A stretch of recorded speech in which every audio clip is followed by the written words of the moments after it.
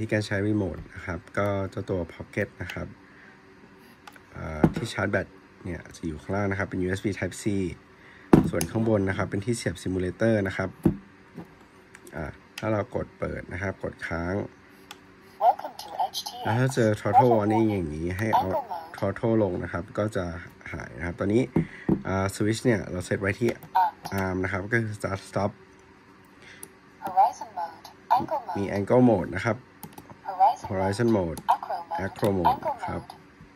แล้วก็อันนี้เป็น buzzer นะครับ สุดท้ายเป็น GPS นะ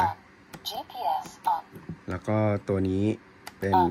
arm แล้วก็เราสามารถเวลามันจะนับถอยหลังนะครับ ผมตั้งไว้ที่ 4 นาที แต่สามารถปรับได้นะครับ ก็ถ้าเรากด arm ปุ๊บ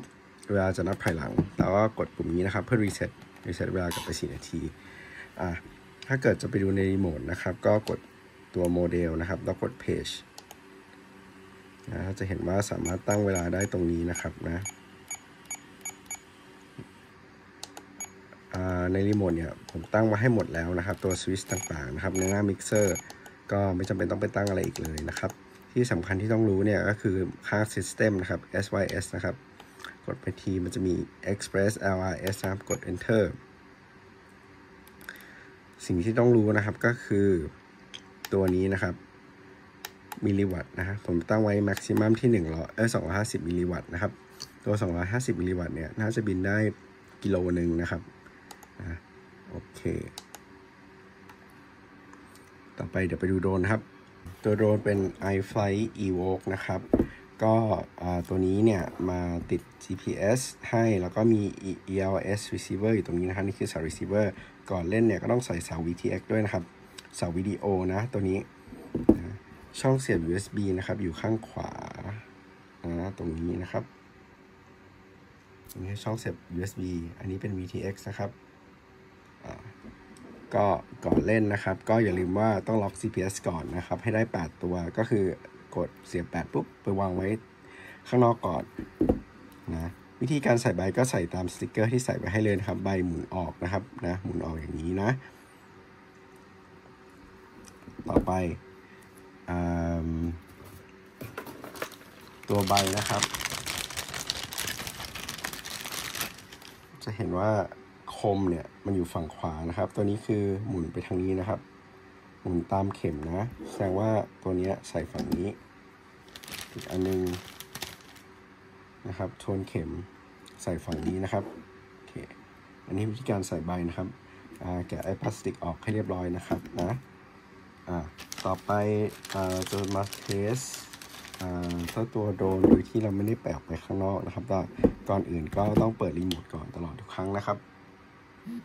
Welcome to HTX Angle Mode เสียบแบตนะครับ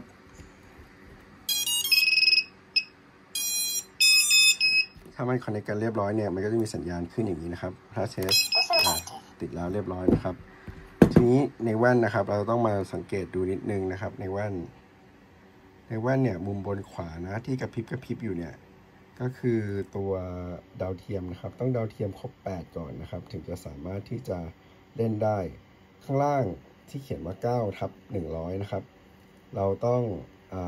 อันนี้คือความแรงสัญญาณ ถ้าเกิดมันเป็นทับ 100 ตลอดเนี่ย ก็คือไม่ต้องกลัวครับ ไม่หลุด แต่ว่าพอมันเริ่มลดถึง 60 แล้วต้องระวังนะครับ อาจจะหลุดได้นะ ถ้าเวลาเราต้องการที่จะเปิด GPS Return to Home นะครับ เรากดปุ่มขวานะครับ GPS on กลุ่มขวาลงนะครับ แล้วมันก็จะเริ่มบินขึ้น แล้วก็บินกลับบ้านนะครับ โอเค แบตเตอรี่ตัวนี้เป็นแบต 6S นะครับ เล่นได้ถึง 3. ประมาณ 3.6 ต่อเซลล์นะครับ ประมาณนะ 3.6 ต่อเซลล์พอละ โอเค อันนี้คือความรู้เบื้องต้นนะครับ เกี่ยวกับตัวโดรนนะครับ สามารถปรับความแรง VTX ได้โดยการทำอย่างนี้นะครับ ถ้าเราทำรีโมทไปทางซ้ายนะครับ แล้วก็ขึ้นบนนะครับ จะเห็นว่าในเมนูเนี่ยแว่นเนี่ย มันจะขึ้นเมนูมาให้เลือก ถ้าเราลงไปที่ฟีเจอร์นะครับ แล้วไปทางขวาหนึ่งทีนะครับ ไปที่ VTX นะครับ แล้วก็อย่าลืมปรับความแรง VTX นะ ไปที่ 1,000 วัตต์ได้นะครับตัวนี้ 1,000 วัตต์ แล้วก็กดเซฟครับอะ